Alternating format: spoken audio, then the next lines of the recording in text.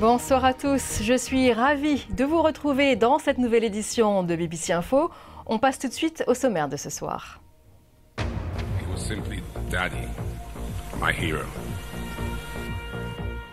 Familles et dirigeants du monde entier ont rendu un dernier hommage à Kofi Annan.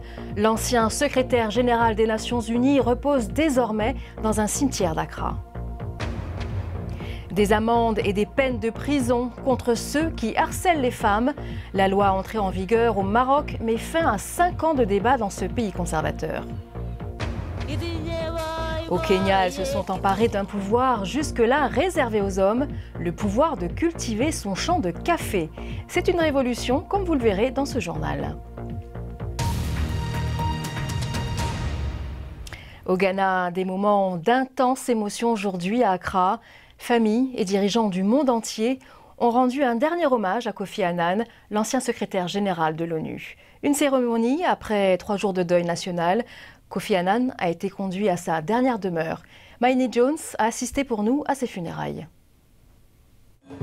Le service des funérailles de l'ancien secrétaire général de l'ONU, Kofi Annan, vient de se terminer dans l'auditoire derrière moi.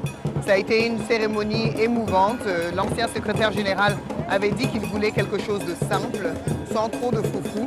Mais c'est une démonstration de sa popularité ici au Ghana que l'auditoire, qui peut contenir 4000 personnes, était rempli à capacité.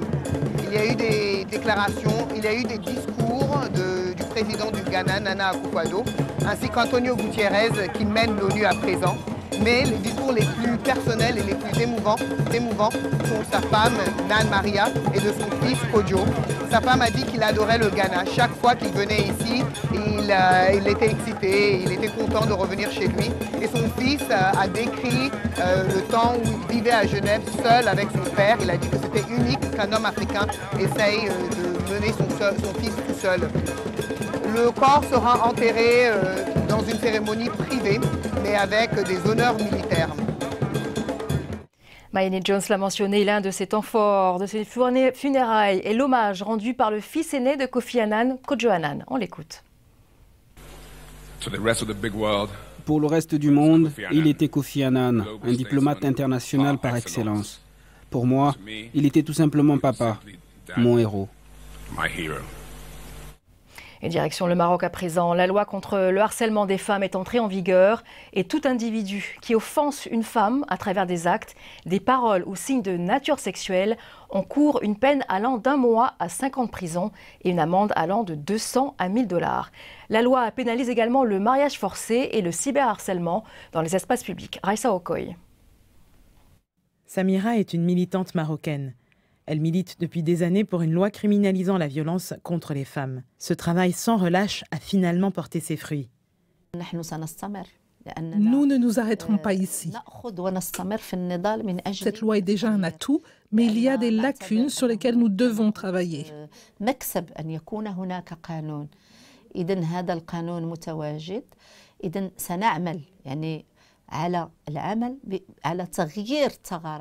La nouvelle loi criminalise le mariage forcé, le cyberharcèlement, le harcèlement sexuel dans les espaces publics et elle prévoit dans le code pénal des sanctions supplémentaires pour certaines formes de violence lorsqu'elles sont commises au sein de la famille.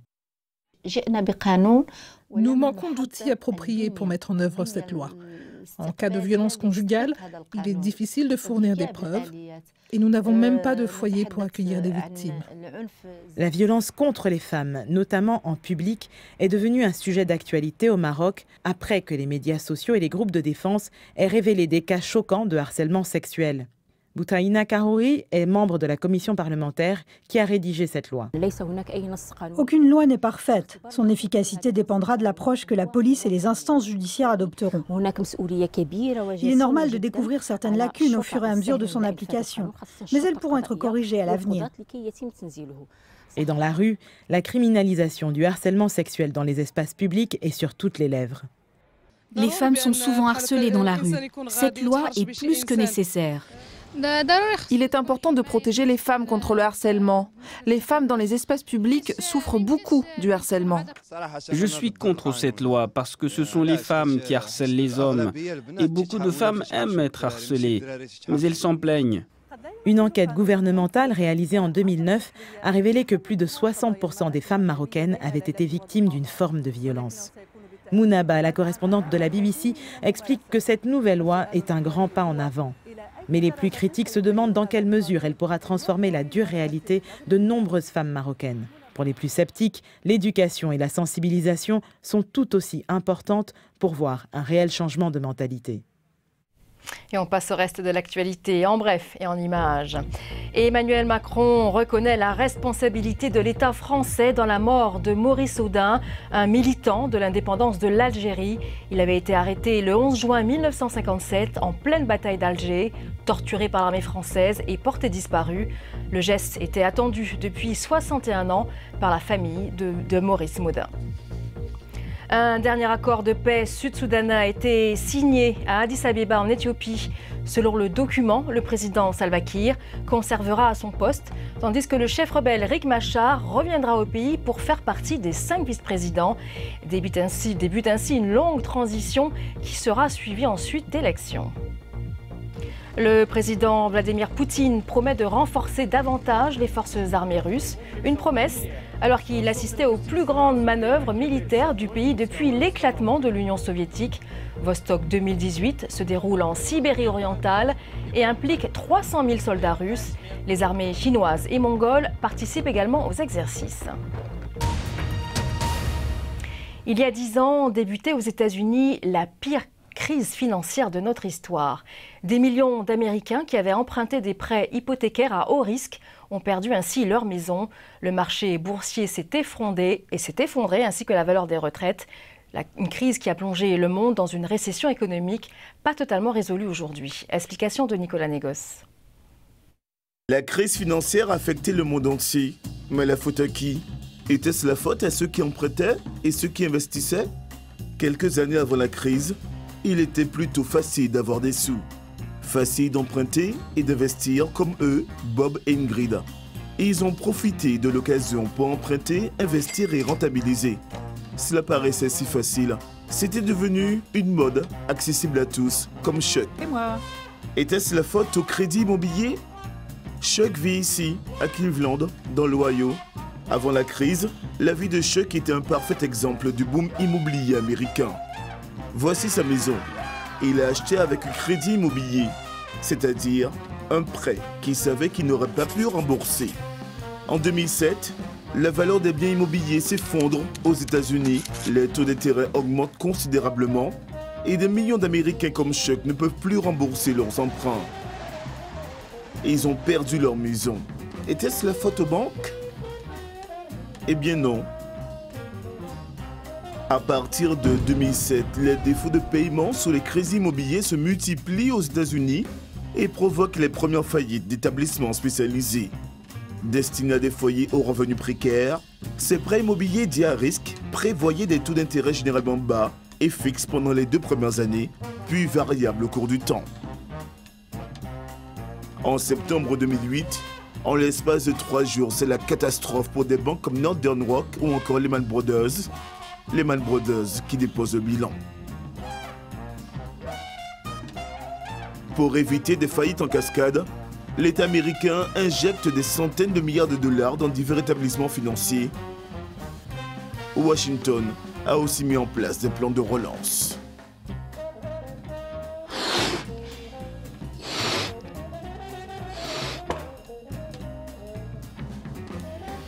L'onde de choc qui en découle fait plonger les marchés mondiaux, basculer les États-Unis dans la récession et perdre leur logement à des millions d'Américains comme Bob, Ingrid, Chuck ou encore Alan.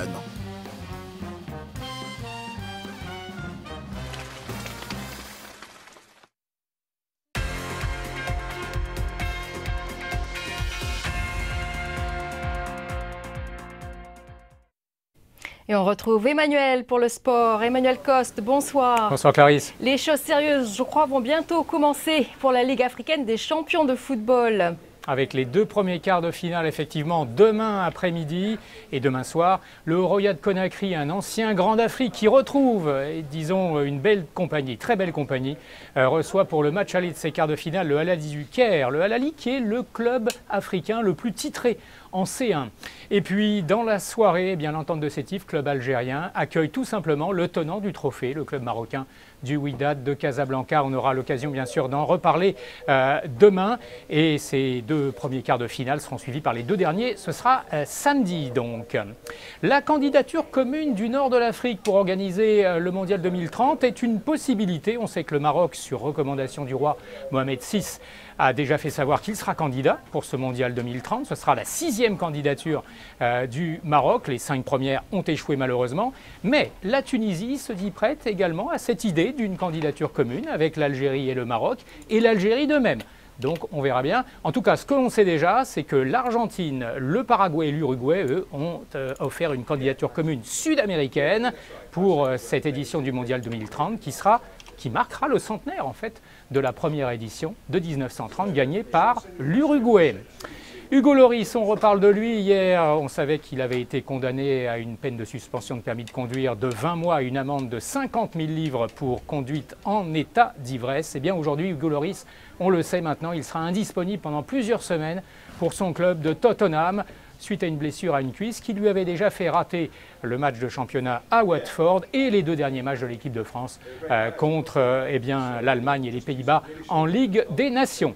Enfin, la Vuelta, 18e étape du Tour d'Espagne aujourd'hui, une étape remportée sur le plat par le Belge Yele Wallaïs. Simoniès, le Britannique, conserve le maillot rouge de leader. Merci beaucoup Emmanuel, on se retrouve demain. Et direction à présent le Kenya, où très peu de femmes possèdent des terres. Dans les villages traditionnels, les femmes peuvent cultiver la terre, mais les profits vont directement aux hommes. Mais lentement, les mentalités changent. Et à Kericho, dans la vallée du Rift, ce sont les femmes qui tirent les fruits du café qu'elles récoltent.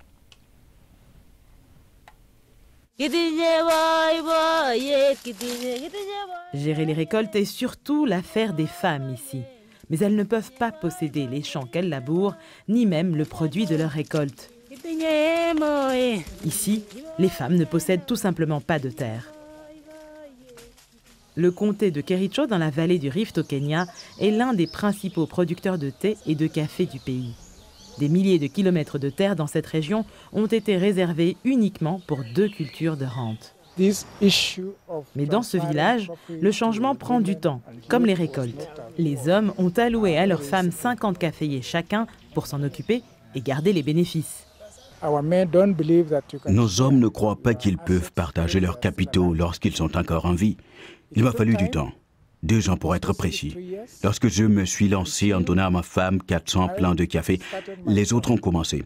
Nous leur disons que nous ne touchons même pas aux problèmes fonciers, car ça, c'est très délicat.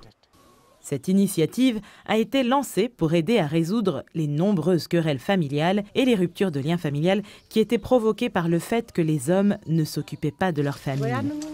Grace Maritime, mère de 11 enfants, fait partie des femmes chanceuses qui ont reçu des caféiers. Avec sa première récolte, elle a gagné 74 dollars. La vie était très dure. Je n'avais même pas un centime. Je pouvais travailler dans la ferme de café, mais mon mari empochait tout l'argent. Je ne pouvais même pas m'acheter de beaux vêtements. Même acheter du sucre pour mon thé posait problème. Mais depuis, ma vie a changé. J'ai de l'argent, les enfants ont pu aller à l'école, j'ai acheté une belle robe et j'ai même fait mes cheveux. Les femmes ont formé une coopérative qui compte 300 membres. Elles apportent leurs grains récoltés aux moulins à café locaux. Leur café est moulu séparément de celui des hommes. Les femmes ont bon espoir qu'un jour, elles posséderont non seulement des caféiers, mais surtout des champs entiers. L'image du jour, c'est celle de l'homme qui décidément est le plus rapide de la planète et peut-être même de l'espace. Usain Bolt, et eh oui, regardez, il court nettement moins vite, mais en apesanteur, c'est normal. Mais l'ancien champion d'athlétisme a quand même battu tout le monde lors de cette course. C'est la fin de ce journal. Merci de l'avoir suivi, notamment en Guinée sur Espace TV. Bonne soirée à tous.